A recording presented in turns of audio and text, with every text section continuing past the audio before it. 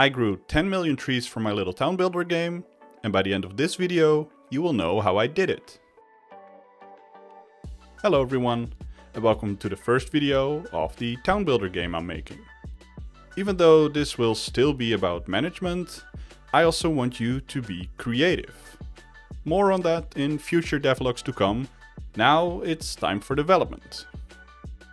Before I can render some trees, I want to create some foundation with terrain and camera movement. This already feels about right, even though I will probably iterate on it later.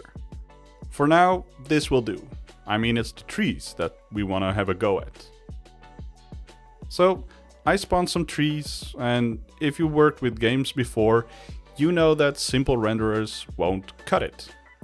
After spawning about 37 trees, the FPS tanked to about 30, which is far from ideal. I don't want to just lower the amount of trees to get to a respectable frame rate. I need the game to have frame time to spare. I mean, I want to add buildings, villagers and maybe some wildlife. And those also take up CPU and GPU time. I think I need to look into instancing.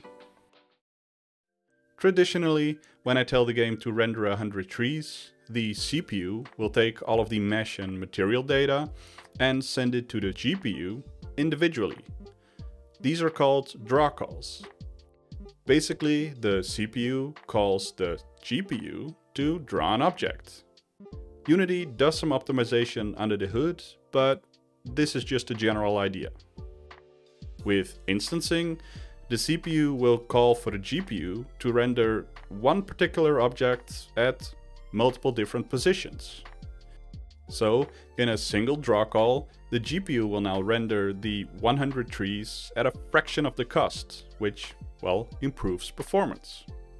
Instead of me trying to do instancing myself, there is a great asset on the Unity asset store called GPU Instancer. Okay, back to it.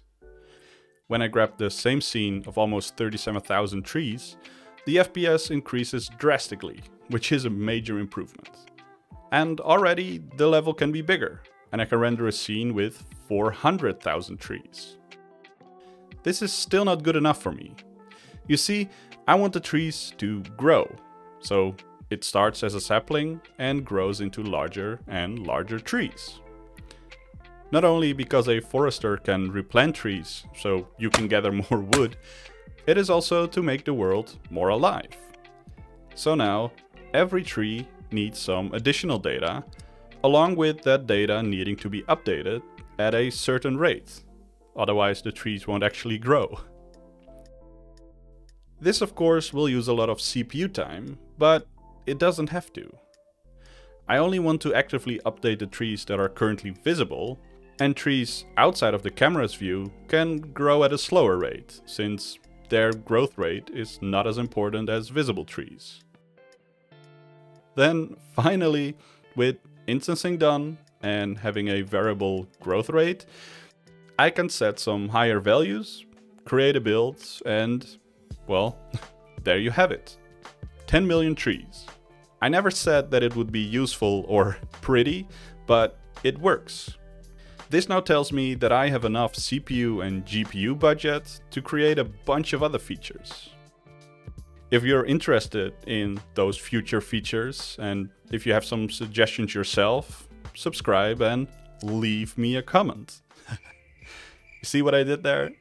leave, since the devlog is about trees. Okay, I, I'll see myself out.